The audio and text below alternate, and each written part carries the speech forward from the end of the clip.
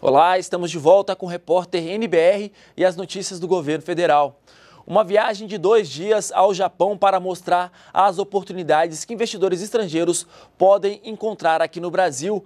Além de encontrar com o imperador e o primeiro-ministro japoneses, o presidente Michel Temer também se reuniu com empresários.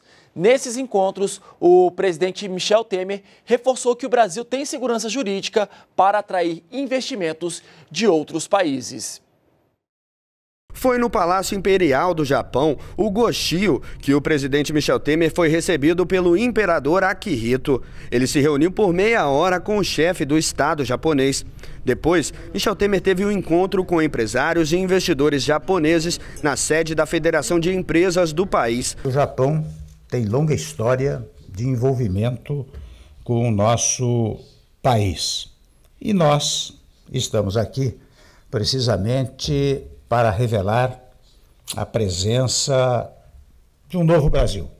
Nós até utilizamos a expressão recomeço para dizer que é o que exige a situação que encontramos ao assumir o governo.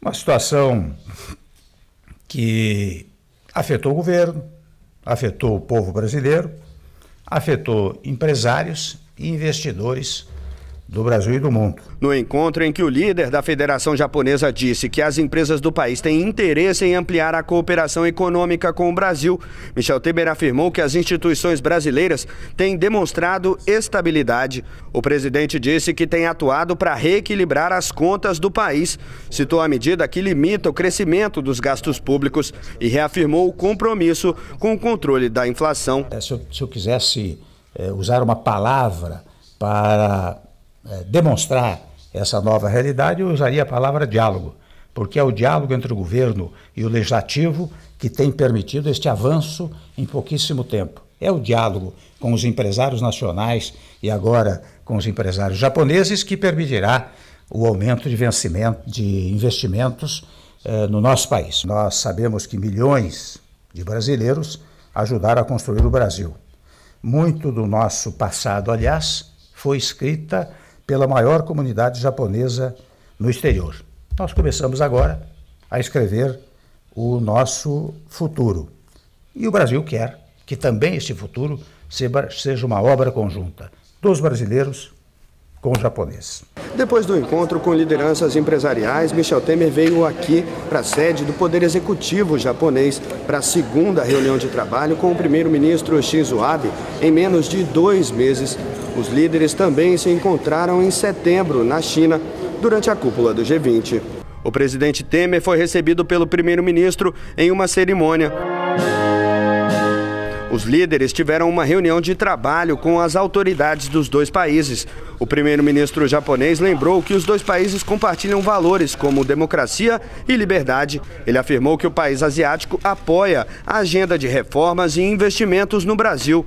Segundo Shinzo Abe, para empresas japonesas, o Brasil representa uma oportunidade. E ao final, os embaixadores assinaram um memorando para promoção de investimentos e cooperação em infraestrutura. Já o presidente Michel Temer apresentou ao primeiro-ministro as medidas que vêm sendo implementadas. A prioridade, segundo ele, é retomar o crescimento e gerar empregos no país. Comentamos com o senhor primeiro-ministro que são quase 700 empresas japonesas operando no Brasil. Nós queremos que os investimentos japoneses continuem a trazer aportes para o progresso científico e tecnológico brasileiro. Registrei a Sua Excelência que nós identificamos entre os empresários japoneses forte interesse em vários projetos do nosso plano de parcerias de investimento com ênfase exatamente na área da infraestrutura. Michel Temer destacou que a agenda entre os dois países é extensa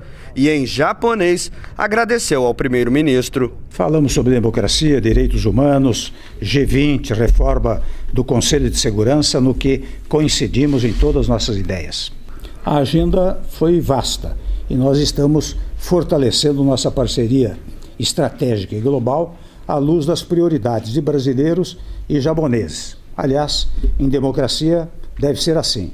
A política externa deve estar a serviço dos valores e dos interesses da sociedade.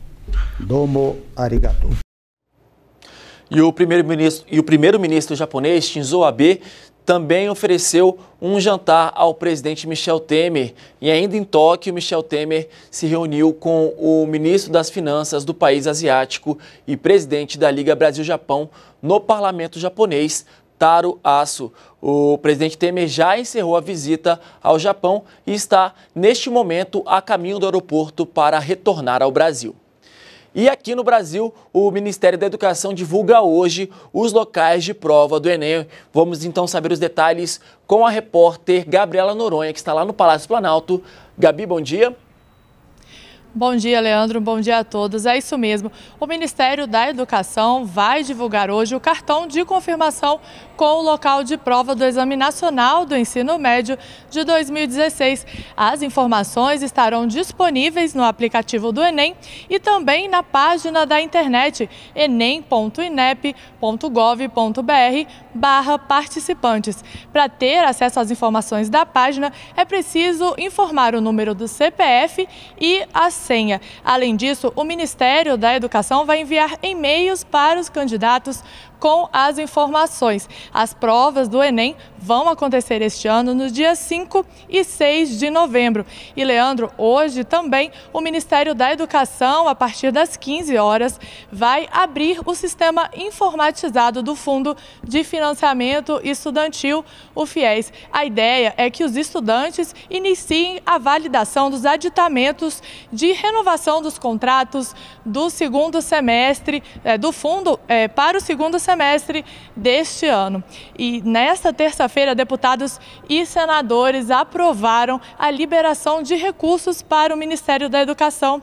O texto aprovado foi sancionado pelo presidente interino Rodrigo Maia e estabelece créditos suplementares de 401 milhões de reais para o Enem e 702 milhões de reais para o FIES.